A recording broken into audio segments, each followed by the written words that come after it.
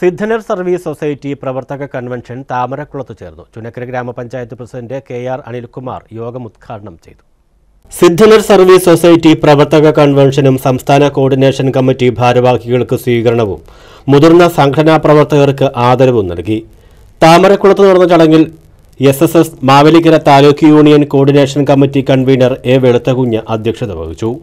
ചുനക്കര ഗ്രാമപഞ്ചായത്ത് president K R Anilkumar ഉദ്ഘാടനം ചെയ്തു. സിദ്ധനർ എന്ന് പറയുന്ന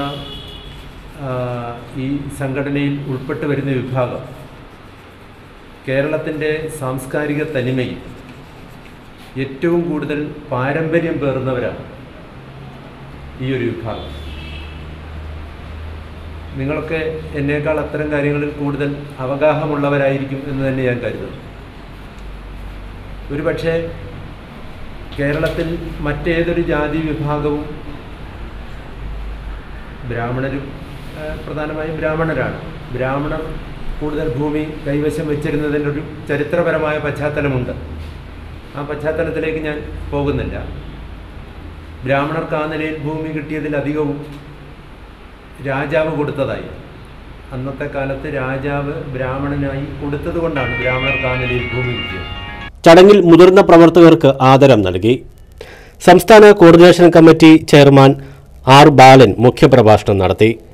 മുൻ ഭരണസമിതിയെ സംബന്ധിച്ചും പ്രവർത്തനങ്ങളെ കുറിച്ചും അവിടെ ഉണ്ടായിട്ടുള്ള സുതാര്യത കുറവിനെ സംബന്ധിച്ചും ഒക്കെ വളരെ വ്യക്തമായിട്ട് ഇവിടെ പ്രതിപാദിച്ചു കഴിഞ്ഞിരിക്കുകയാണ്.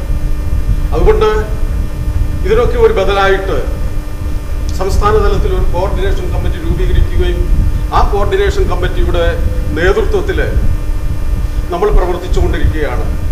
ചില സാങ്കേതിക കാരണങ്ങൾ കൊണ്ട് നമ്മളിപ്പോൾ നിലവിലുള്ള ഇപ്പോൾ ഇപ്പോഴുള്ള ഈ കോർഡിനേഷൻ കമ്മിറ്റി നമ്മൾ റീകോൺസ്റ്റിറ്റ്യൂട്ട് ചെയ്തു. അതായത് ഒന്ന് പുനഃക്രമീകരിച്ചു. സംസ്ഥാന coordination committee vice chairman K Sasi മുതിർന്ന പ്രവർത്തകരെ ആദരിച്ചു. K Sasi Adoor Pathala Raghavan V K Balan Pushparajan Adoor K Rajappan Mavelikkara K Jayakumar തുടങ്ങിയവർ പങ്കെടുത്തു. News bureau Charummood.